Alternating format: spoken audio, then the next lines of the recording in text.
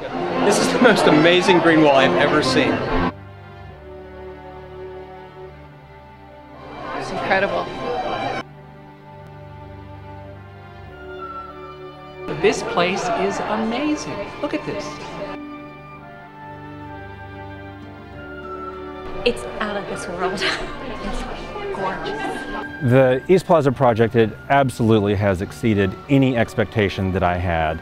Um, it is so beautiful, it is elegant, it's really setting a new standard for design and landscape architecture in North America. And then of course, the green wall.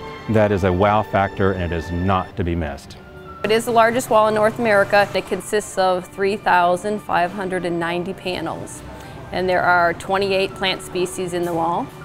And the whole thing is irrigated with an elaborate drip irrigation system. There is a stainless steel framing, and so we hang that framing on the wall. This is the framing here and it has little channels and it's bolted to the wall and it forms a grid pattern.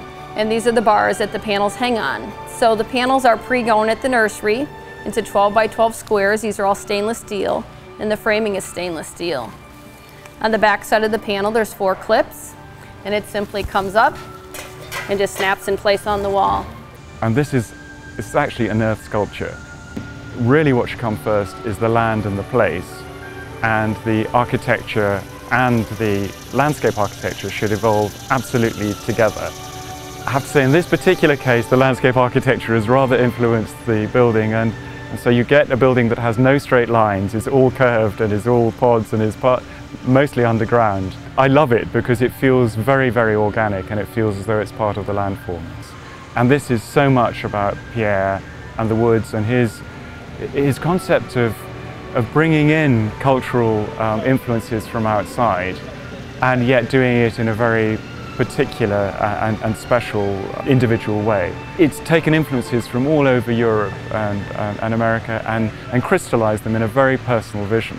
And I think he would have embraced sustainability and conservation of water and the marrying of land and buildings in in a really imaginative way. What's most exciting is, is taking the memory of a place, the personality of an individual who, who created that place, and then allowing the spirit of that to create something that I hope he would have been pleased with, but is absolutely not a copy of what has gone before. We want everyone to come out to Longwood Gardens and to experience our new East Plaza, but really to experience our ever-changing nature and all that we have to offer 365 days a year.